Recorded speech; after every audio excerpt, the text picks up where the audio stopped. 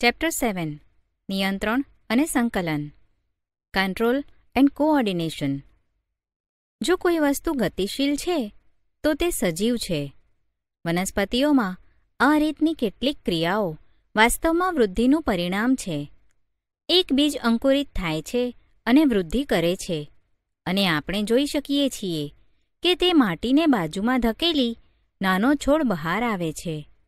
પરંતુ જો તેમની વૃદ્ધિ રોકાઈ જાય, તો આ ક્રિયાઓ થતી નથી. મોટાભાગના પ્રાણીઓમાં અને કેટલીક વનસ્પતિઓમાં કેટલીક ક્રિયાઓ વૃદ્ધિની સાથે સંબંધિત હોતી નથી. એક દોડતી બિલાડી, હિંચકા પર હિંચતા બાળકો, વાગોળતી ભેંસ, આ ક્રિયાઓ વૃદ્ધિનું કારણ હોતું નથી. જોઈ શકાય તેવી આ ક્રિયાઓને આપણે જીવનની સાથે કેમ જોડીએ છીએ? તેનો એક સંભવિત જવાબ એ છે કે આપણે ક્રિયાઓને સજીવના પર્યાવરણમાં આવતા પરિવર્તનના, એટલે કે પ્રતિચાર રૂપે વિચારીએ છીએ. બિલાડી એટલા માટે દોડતી હશે કારણ કે તેણે એક ઉંદરને જોયો હતો. માત્ર આ જ નહીં, આપણે ક્રિયાને સજીવો દ્વારા કરેલા એક એવા પ્રયત્નના સ્વરૂપમાં પણ વિચારીએ છીએ કે જેમાં તેમના પર્યાવરણમાં થયેલા પરિવર્તન તેમના માટે લાભદાયી હોય. સૂર્યના પ્રકાશમાં છોડ કે વનસ્પતિ વૃદ્ધિ કરે છે. બાળકો હિંચકાથી આનંદ પ્રાપ્ત કરવાનો પ્રયત્ન કરે છે. ભેંસ વાગોળે છે કે જેથી ખોરાકના નાના ટુકડાઓમાં રૂપાંતરિત થાય અને તેનું પાચન સરળતાથી થઈ શકે. જ્યારે તીવ્ર પ્રકાશ આપણી આંખો પર ફોકસ થાય છે કે જ્યારે આપણે કોઈ ગરમ વસ્તુને અડકીએ છીએ તો બદલાવ અનુભવીએ છીએ કે પોતાનો બચાવ કરવા માટે પ્રતિચાર આપે છે એવું પ્રતીત થાય છે. જો આપણે તેના વિશે વધારે વિચાર કરીએ, તો એવું પ્રતીત થાય છે કે પર્યાવરણની ક્રિયાને પ્રતિ આ ક્રિયાઓ સાવચેતીથી નિયંત્રિત થાય છે. પર્યાવરણમાં પ્રત્યેક પરિવર્તનની પ્રતિચાર રૂપે એક યોગ્ય ક્રિયા ઉત્પન્ન થાય છે. જ્યારે આપણે વર્ગમાં આપણા મિત્રોની સાથે વાત કરવા માંગતા હોઈએ છીએ, ત્યારે આપણે જોરથી બૂમો પાડવાની તુલનામાં ધીમે ધીમે વાતો કરીએ છીએ. સ્પષ્ટ રીતે, કોઈપણ ક્રિયા જે ઘટના પર નિર્ભર કરે છે, તેને પ્રેરિત કરે છે. આમ, આ રીતની નિયંત્રિત ક્રિયાને પર્યાવરણમાં ભિન્ન ઘટનાઓના જ્ઞાનની સાથે સાંકળવી જોઈએ, જે ક્રિયાને અનુરૂપ ક્રિયા પ્રતિચાર રૂપે, એટલે કે પ્રતિસાદ કરી શકાય. બીજા શબ્દોમાં, સજીવોએ તે તંત્રોનો ઉપયોગ કરવો જોઈએ, જે નિયંત્રણ અને સંકલનનું કાર્ય કરે. બહુકોષીય સજીવોમાં, શરીરના આયોજનના સામાન્ય સિદ્ધાંતને ધ્યાનમાં રાખીને, એ કહી શકીએ કે વિશિષ્ટકરણ પામેલી પેશીનો ઉપયોગ આ નિયંત્રણ અને સંવાદિતતાની પ્રવૃત્તિમાં થાય છે. પ્રાણીઓ ચેતાતંત્ર એટલે કે એનિમલ્સ નર્વસ સિસ્ટમ પ્રાણીઓમાં આ નિયંત્રણ અને સંકલન ચેતા અને સ્નાયુપેશી દ્વારા થાય છે. આકસ્મિક પરિસ્થિતિમાં ગરમ પદાર્થને અડકવું આપણા માટે હાનિકારક હોઈ શકે છે. આપણે તે ઓળખવાની અને તેને અનુરૂપ ક્રિયા કરવાની જરૂરિયાત હોય છે. આપણે કેવી રીતે જાણી શકીશું કે આપણે ગરમ વસ્તુને અડકી રહ્યા છીએ?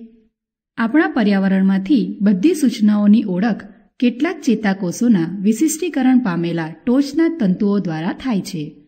તે ગ્રાહી એકમ સામાન્ય રીતે આપણા સંવેદાંગોમાં એટલે કે આપણી જ્ઞાનેન્દ્રિયોમાં આવેલ હોય છે. જેમ કે અંતઃકર્ણ, નાક, જીભ વગેરે રસ સંવેદનાગ્રાહી સ્વાદ ઓળખ કરે છે. જ્યારે દ્રાણગ્રાહી એકમ ગંધને લગતી સંવેદનાની ઓળખ કરે છે.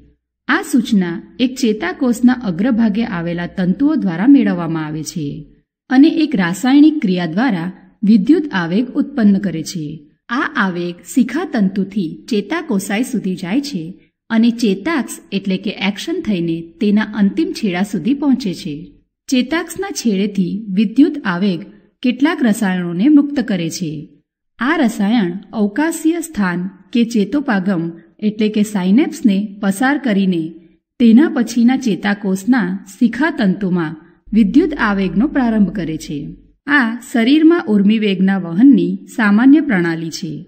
આ રીતે એક ચેતોપાગમ અંતમાં એવા ઉર્મિવેગને ચેતાકોષોથી અન્ય કોષોમાં, જેવા કે સ્નાયુકોષો કે ગ્રંથિ સુધી લઈ જાય છે. આમ, તેમાં કોઈ આશ્ચર્ય નથી કે ચેતાપેશી ચેતાકોષોની એક આયોજનબદ્ધ જાળીરૂપ રચનાની બનેલી છે. અને આ સૂચનાઓ વિદ્યુત આવેગ દ્વારા શરીરના એક ભાગથી બીજા ભાગ સુધી સંવહનમાં વિશિષ્ટીકરણ પામેલી છે. ચેતાકોષોના ભાગો. એક, જેમાં સંવેદનાઓ કે સૂચનાઓ આવે છે.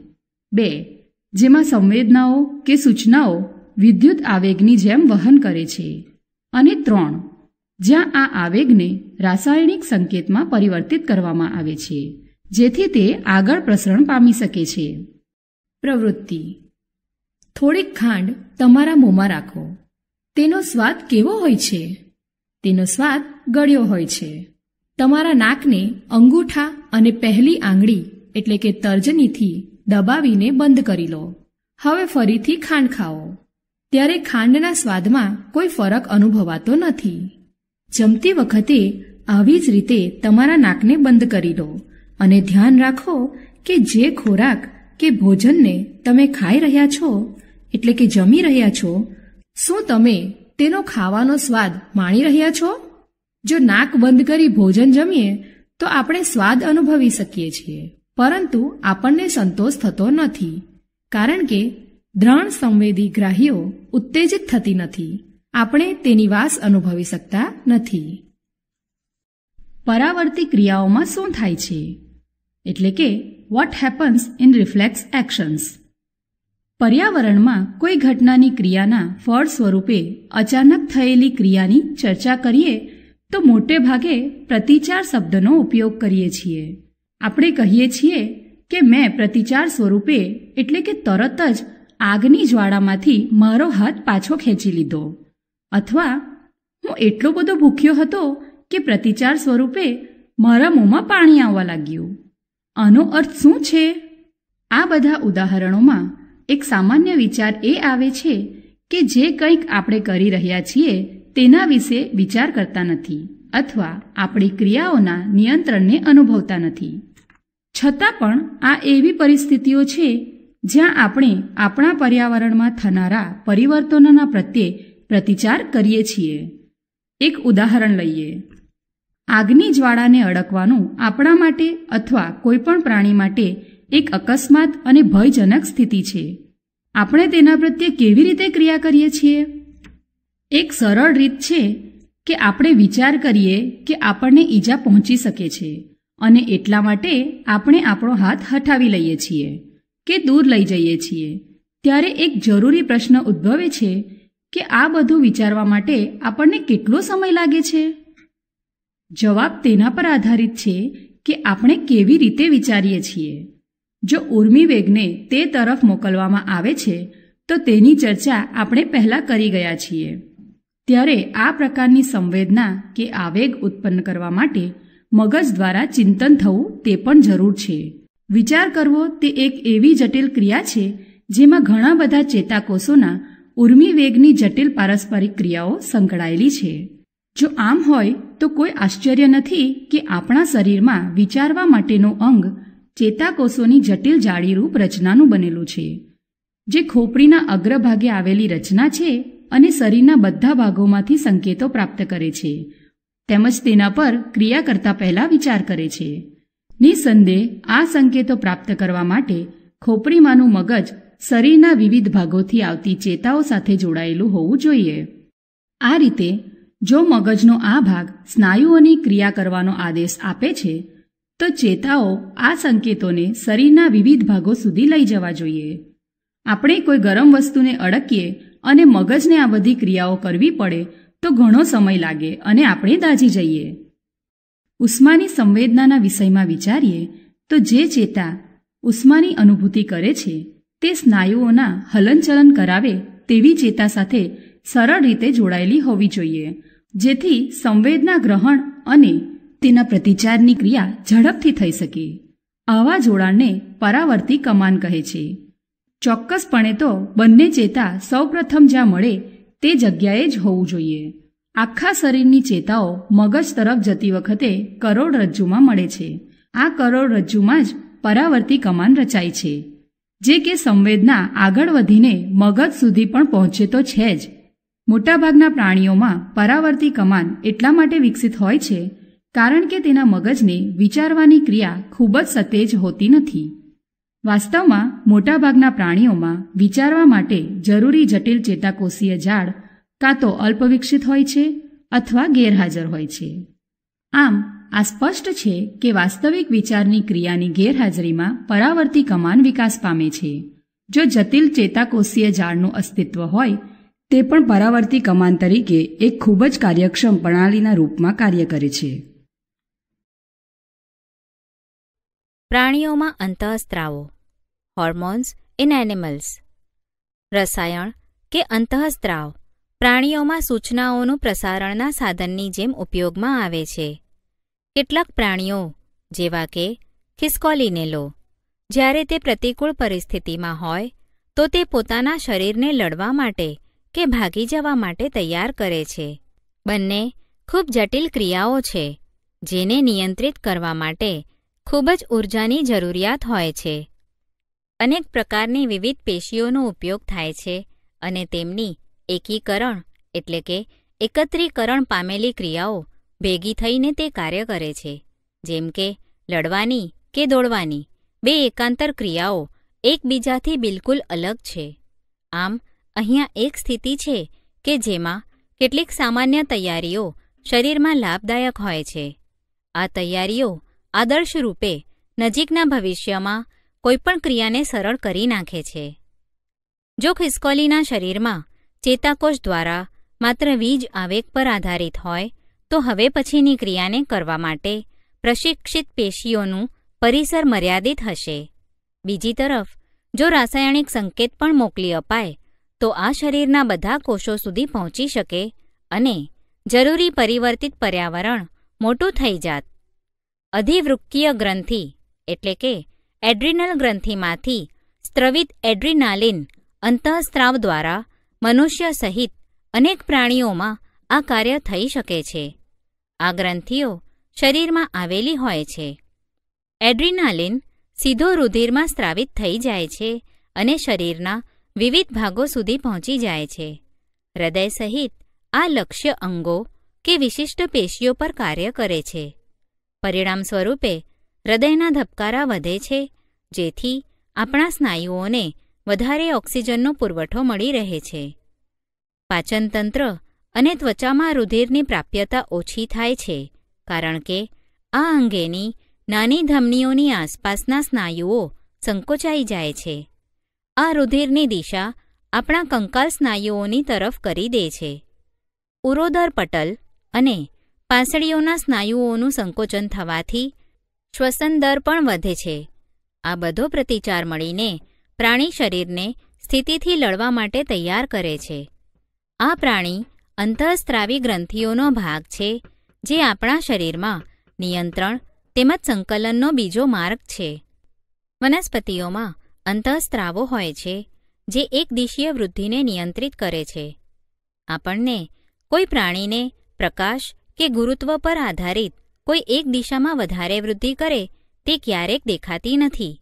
પરંતુ જો આપણે તેના વિશે વધારે ચિંતન કરીએ, તો આ સાચું હશે કે પ્રાણી શરીર પણ સાવચેતીપૂર્વક નિયંત્રિત સ્થાનો પર વૃદ્ધિ કરે છે.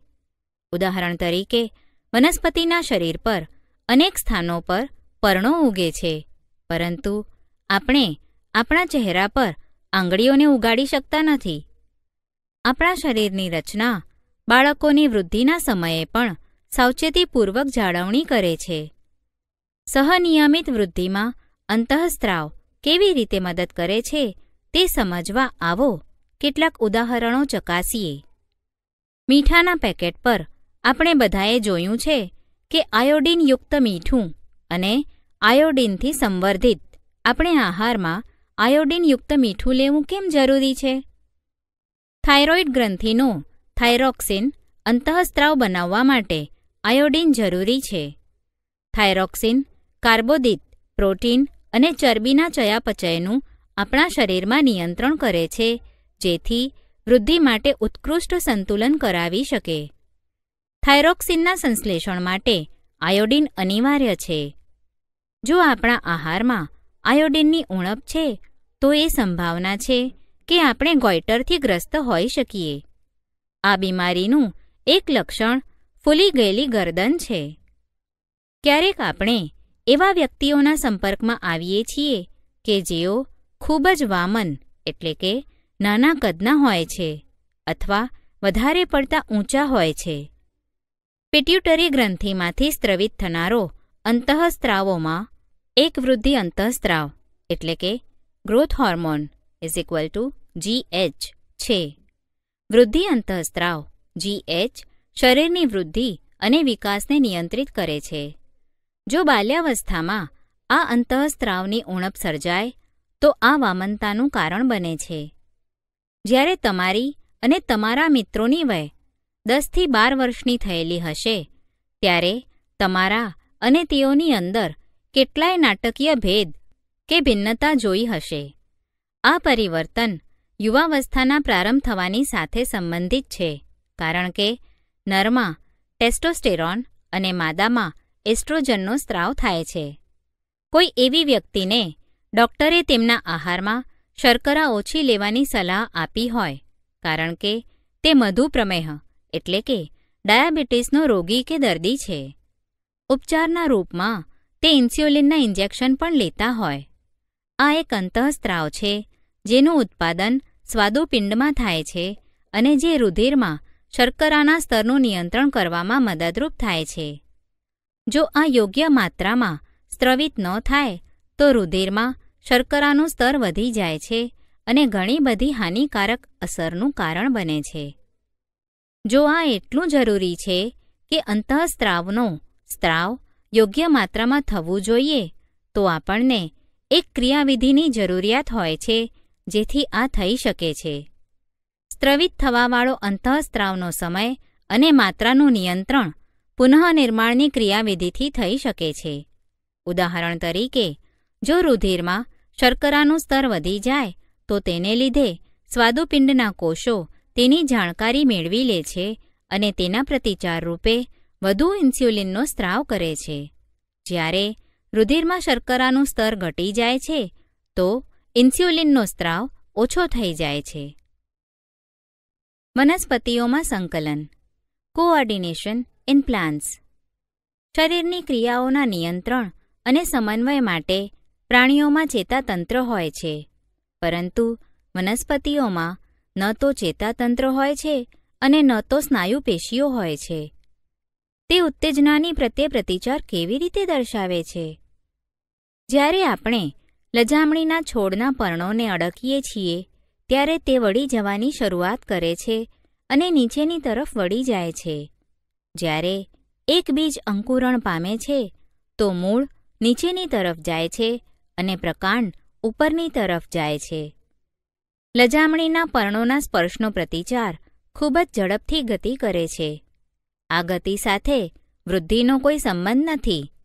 બીજી તરફ અંકુરિત છોડની દિશાસૂચક ગતિ વૃદ્ધિને કારણે હોય છે. જો તેની વૃદ્ધિને કોઈ રીતે અવરોધવામાં આવે, તો આ કોઈ ગતિ પ્રદર્શિત કરશે નહીં. આમ, વનસ્પતિ બે પ્રકારની ગતિઓ દર્શાવે છે. એક, વૃદ્ધિને આધારિત અને બીજી, વૃદ્ધિથી મુક્ત. ઉત્તેજના માટે તાત્કાલિક પ્રતિચાર. ઇમિડિયેટ રિસ્પોન્સ ટુ સ્ટિમ્યુલસ આવો પહેલા પ્રકારની ગતિ પર વિચાર કરીએ. જેમ કે, લજામણીના છોડની ગતિ. આ વૃદ્ધિ સાથે સંકળાયેલ નથી.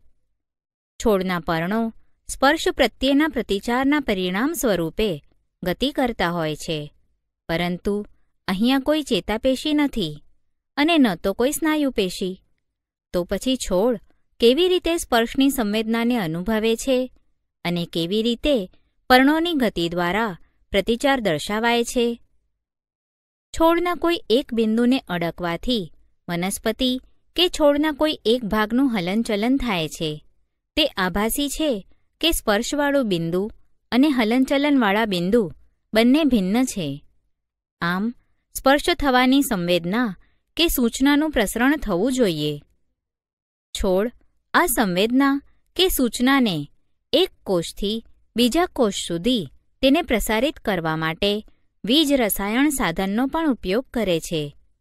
પરંતુ પ્રાણીઓની જેમ વનસ્પતિમાં સૂચનાઓ કે સંવેદનાઓ માટે કોઈ વિશિષ્ટકરણ પામેલ પેશી હોતી નથી. અંતમાં પ્રાણીઓની જેમ પ્રચલન કરવા માટે કેટલાક કોષો પોતાના આકારમાં પરિવર્તન લાવતા હોવા જોઈએ. વનસ્પતિ કોષોમાં પ્રાણી સ્નાયુ કોષોની જેમ વિશિષ્ટકરણ પામેલ પ્રોટીન હોતા નથી. છતાં પણ, તે પાણીના પ્રમાણમાં પરિવર્તન કરીને પોતાનો આકાર બદલી શકે છે. પરિણામ સ્વરૂપે, ફૂલીને કે સંકોચન પામીને તેઓ પોતાના આકાર બદલી શકે છે. વૃદ્ધિને કારણે ગતિ, હલનચલન કે પ્રચલન. Movement due to growth. વટાણાના છોડની જેમ કેટલીક વનસ્પતિ અન્ય વનસ્પતિ કે વાડ પર આધારની મદદથી ઉપર ચઢે છે. આ આધાર એટલે કે ટેન્ડ્રિલ સ્પર્શ માટે સંવેદનશીલ હોય છે. જ્યારે તે કોઈ આધારના સંપર્કમાં આવે છે, ત્યારે લંબાઈ ધરાવતો તે ભાગ જો કોઈ વસ્તુના સંપર્કમાં હોય, તો તેમાં એટલી તીવ્રતાથી વૃદ્ધિ થતી નથી કે જેટલી લંબાઈવાળો તે ભાગ કોઈ વસ્તુથી દૂર રહે છે. આ રીતે લંબાઈમાં વધારો વસ્તુને ચારે તરફથી જકડી લે છે. સામાન્ય રીતે, વનસ્પતિ ધીરેથી એક નિશ્ચિત દિશામાં ગતિ કરીને ઉત્તેજનાની પ્રત્યે પ્રતિચાર આપે છે, કારણ કે આ વૃદ્ધિ એક દિશીય હોય છે. તેથી એવું લાગે છે કે વનસ્પતિ પ્રચલન કરી શકે છે. આવો, એક પ્રકારની ગતિ કે પ્રચલનને એક ઉદાહરણની મદદથી સમજીએ. પ્રવૃત્તિ. એક શંકુ આકારના ફ્લાસ્કને પાણીથી ભરી લો. ફ્લાસ્કની ગ્રીવાને તારની જાળીથી ઢાંકી દો. એક તાજો, નાનો વાલનો છોડ તારની જાળી પર એવી રીતે રાખી દો કે તેના મૂળ પાણીમાં પલળેલા રહે. એક બાજુથી ખુલેલા એવા પુઠ્ઠાનું એક બોક્સ લો.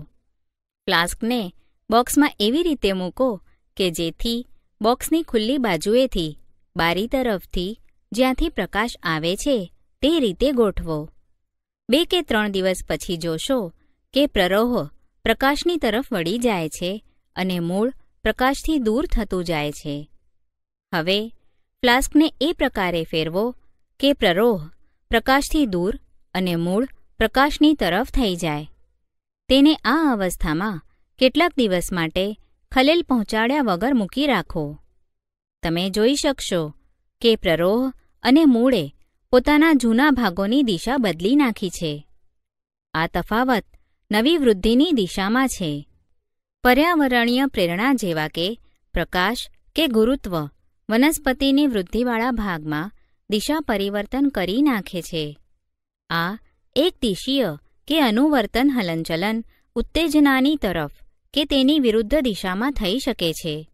આમ આ બે ભિન્ન પ્રકારે પ્રકાશાનું વર્તન હલનચલનની ક્રિયાઓમાં પ્રરોહ પ્રકાશની તરફ વળીને પ્રતિચાર અને મૂળ તેનાથી દૂર વળીને પ્રતિચાર દર્શાવે છે. વનસ્પતિ અન્ય ઉત્તેજનાઓ માટે પણ પ્રતિચાર કરીને અનુવર્તન, એટલે કે આવર્તન, ટ્રોપેઝમ દર્શાવે છે. એક વનસ્પતિના મૂળ હંમેશા નીચેની તરફ વૃદ્ધિ કરે છે જ્યારે પ્રરોહ સામાન્ય રીતે ઉપરની તરફ અને પૃથ્વીથી દૂર વૃદ્ધિ કરે છે. આ પ્રરોહ અને મૂળમાં ક્રમશઃ ઉપરીગામી અને અધોગામી વૃદ્ધિ, પૃથ્વી કે ગુરુત્વના ખેંચાણનો પ્રતિચાર, નિસંદેહ ગુરુત્વાનું વર્તન છે. જો હાઇડ્રોનો અર્થ પાણી અને રસાયણનો અર્થ કીમો પદાર્થ હોય, તો જલાનું વર્તન અને રસાયણનું વર્તનનો શું અર્થ થાય? રસાયણાનું વર્તનનું એક ઉદાહરણ, પરાગનલિકાની બીજાંડ એ અંડકની તરફ વૃદ્ધિ કરવી તે છે. બહુકોષીય સજીવોના શરીરમાં સૂચનાઓ કે સંવેદનાઓ કેવી રીતે પ્રસારિત થાય છે? લજામણીમાં સ્પર્શનો પ્રતિચારની ગતિ કે હલનચલન ખૂબ જ તીવ્ર હોય છે. બીજી તરફ, રાત અને દિવસનો, પ્રતિચારમાં પુષ્પોનું હલનચલન ખૂબ જ મંદ હોય છે. વનસ્પતિની વૃદ્ધિ સંબંધિત હલનચલન પણ મંદ હોય છે. પ્રાણી શરીરમાં પણ વૃદ્ધિ માટે સાવચેતીપૂર્વક નિયંત્રિત દિશાઓ હોય છે. આપણી ભુજા કે બાહુ અને આંગળીઓ યાદચ્છિક ન રહેતા એક નિશ્ચિત દિશામાં વૃદ્ધિ કરે છે. નિયંત્રિત ગતિ મંદ કે તીવ્ર હોઈ શકે છે. જો ઉત્તેજના માટે તીવ્ર પ્રતિચાર દર્શાવાય, તો સંવેદનાઓ કે સૂચનાઓનું સ્થળાંતરણ પણ ખૂબ જ તીવ્ર હોવું જોઈએ. તેના માટે તીવ્ર કે ઝડપથી ચાલવા માટે પ્રચલનનું માધ્યમ હોવું જોઈએ. તેના માટે વીજ આવેગ એક ઉત્તમ સાધન છે. પરંતુ વીજ આવેગના ઉપયોગ માટેની અમુક મર્યાદાઓ છે. સૌ પ્રથમ તે માત્ર તેવા કોષો સુધી પહોંચે જે ચેતાપેશી સાથે સંકળાયેલ છે. પ્રાણી શરીરના પ્રત્યેક કોષો સુધી વહન થતું નથી. બીજું, એકવાર એક કોષમાં વીજ આવેગનું નિર્માણ થાય છે અને પ્રસારિત થાય છે, તો પુનઃ નવો આવેગ નિર્માણ કરવા અને તેનું વહન કરવા માટે કોષ ફરીથી પોતાની કાર્યવિધિ સારી રીતે કરવા માટે કેટલોક સમય લે છે. બીજા શબ્દોમાં, કોષો સતત વીજ આવેગનું નિર્માણ કરી શકતા નથી અને તેનું વહન કરી શકતા નથી. તેમાં કોઈ આશ્ચર્ય નથી કે મોટાભાગના બહુકોષીય સજીવ કોષોના મધ્ય પ્રસરણ માટે અન્ય સાધનોનો ઉપયોગ કરે છે. આપણે પહેલાં જ રાસાયણિક વહન કે પ્રસરણનો સંદર્ભ આપી ગયા છીએ. જો એક વીજ આવેગ નિર્માણ કરવા સિવાય ઉત્તેજિત કોષો એક રાસાયણિક સંયોજન મુક્ત કરવાની શરૂઆત કરે છે, તો આ સંયોજન આસપાસના બધા કોષોમાં પ્રસરણ થઈ જાય છે. જો આસપાસના અન્ય કોષોની પાસે આ સંયોજનની ઓળખ કરવાનું સાધન હોય, તો તેની સપાટી પર વિશેષ અણુઓનો ઉપયોગ કરીને તે સંવેદનાઓ વિશેનો ખ્યાલ મેળવવા યોગ્ય હોય છે અને તેને પ્રસારિત કે વહન પણ કરાય છે. જો કે આ પ્રક્રિયા ખૂબ જ ધીમી થાય છે. પરંતુ આ ચેતા સંબંધ સિવાય પણ શરીરના બધા કોષો સુધી પહોંચે છે અને તેને અપરાવર્તી કે અપ્રતિવર્તી તેમજ સ્થાયી બનાવાય છે. બહુકોષીય પ્રાણીઓ દ્વારા નિયંત્રણ તેમજ સંકલન માટે આવેલો આ અંતઃસ્ત્રાવ આપણી આશાને અનુરૂપ વિવિધતા દર્શાવે છે. વિવિધ વનસ્પતિ અંતઃસ્ત્રાવો વૃદ્ધિ, વિકાસ અને પર્યાવરણના પ્રત્યે પ્રતિચારનું સંકલન કરવામાં મદદરૂપ થાય છે. તેના સંશ્લેષણનું સ્થાન તેની ક્રિયાના વિસ્તારથી દૂર હોય છે અને સામાન્ય કે સરળ પ્રસરણ દ્વારા તે ક્રિયા વિસ્તાર સુધી પહોંચી જાય છે.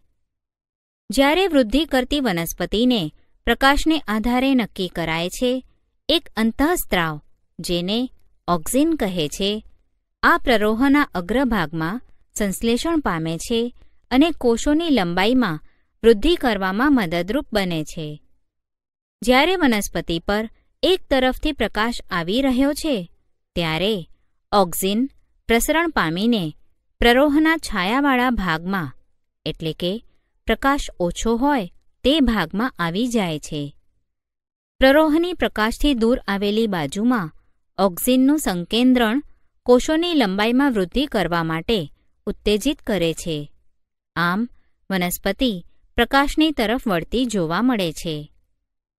વનસ્પતિ અંતઃસ્ત્રાવોનું બીજું ઉદાહરણ જિબ્રેલિન છે, જે ઓક્સિનની જેમ પ્રકાંડની વૃદ્ધિમાં મદદરૂપ થાય છે. સાઇટોકાઇનિન કોષ વિભાજનને પ્રેરિત કરે છે અને તેથી આ તે વિસ્તારોમાં હોય જ્યાં કોષ વિભાજન ઝડપથી થતું હોય છે. વિશેષ રૂપથી ફળ અને બીજમાં વધારે સાંદ્રતા મળી આવે છે. આ તે વનસ્પતિ અંતઃસ્ત્રાવોના ઉદાહરણ છે, જે વૃદ્ધિમાં સહાયક બને છે, પરંતુ અવરોધનારા અંતઃસ્ત્રાવોનું એક ઉદાહરણ છે. પર્ણોના કરમાઈ જવાની ઘટના તેની અસરની સાથે સંકલિત છે.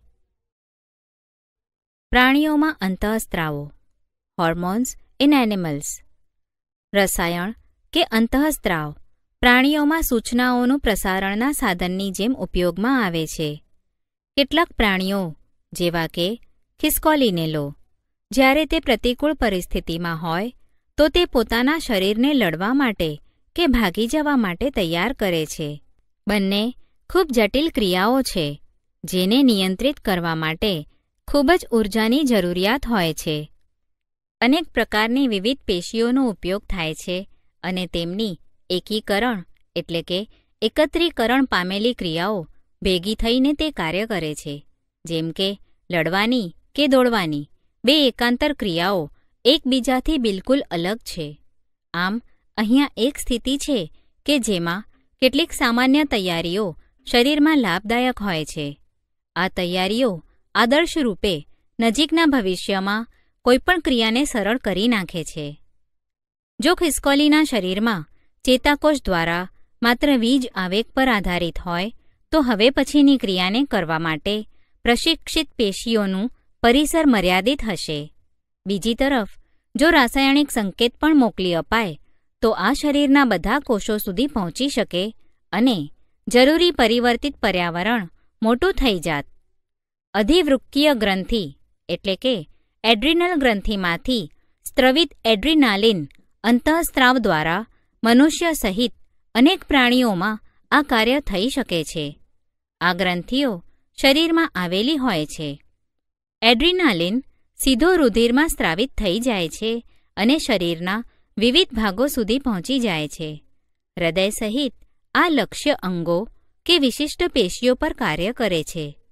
પરિણામ સ્વરૂપે હૃદયના ધબકારા વધે છે, જેથી આપણા સ્નાયુઓને વધારે ઓક્સિજનનો પુરવઠો મળી રહે છે. પાચનતંત્ર અને ત્વચામાં રુધિરની પ્રાપ્યતા ઓછી થાય છે, કારણ કે આ અંગેની નાની ધમનીઓની આસપાસના સ્નાયુઓ સંકોચાઈ જાય છે. આ રુધિરની દિશા આપણા કંકાલ સ્નાયુઓની તરફ કરી દે છે. ઉરોદર પટલ અને પાંસળીઓના સ્નાયુઓનું સંકોચન થવાથી શ્વસન દર પણ વધે છે. આ બધો પ્રતિચાર મળીને પ્રાણી શરીરને સ્થિતિથી લડવા માટે તૈયાર કરે છે. આ પ્રાણી અંતઃસ્ત્રાવી ગ્રંથિઓનો ભાગ છે, જે આપણા શરીરમાં નિયંત્રણ તેમજ સંકલનનો બીજો માર્ગ છે. વનસ્પતિઓમાં અંતઃસ્ત્રાવો હોય છે, જે એક દિશીય વૃદ્ધિને નિયંત્રિત કરે છે. આપણને કોઈ પ્રાણીને પ્રકાશ કે ગુરુત્વ પર આધારિત કોઈ એક દિશામાં વધારે વૃદ્ધિ કરે તે ક્યારેક દેખાતી નથી. પરંતુ જો આપણે તેના વિશે વધારે ચિંતન કરીએ, તો આ સાચું હશે કે પ્રાણી શરીર પણ સાવચેતીપૂર્વક નિયંત્રિત સ્થાનો પર વૃદ્ધિ કરે છે. ઉદાહરણ તરીકે, વનસ્પતિના શરીર પર અનેક સ્થાનો પર પર્ણો ઉગે છે, પરંતુ આપણે આપણા ચહેરા પર આંગળીઓને ઉગાડી શકતા નથી. આપણા શરીરની રચના બાળકોની વૃદ્ધિના સમયે પણ સાવચેતીપૂર્વક જાળવણી કરે છે. સહનિયમિત વૃદ્ધિમાં અંતઃસ્ત્રાવ કેવી રીતે મદદ કરે છે તે સમજવા આવો. કેટલાક ઉદાહરણો ચકાસીએ. મીઠાના પેકેટ પર આપણે બધાએ જોયું છે કે આયોડિનયુક્ત મીઠું અને આયોડિનથી સંવર્ધિત.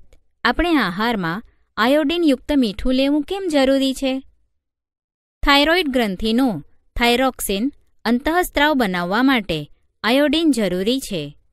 થાઇરોક્સિન કાર્બોદિત, પ્રોટીન અને ચરબીના ચયાપચયનું આપણા શરીરમાં નિયંત્રણ કરે છે, જેથી વૃદ્ધિ માટે ઉત્કૃષ્ટ સંતુલન કરાવી શકે. થાઇરોક્સિનના સંશ્લેષણ માટે આયોડિન અનિવાર્ય છે.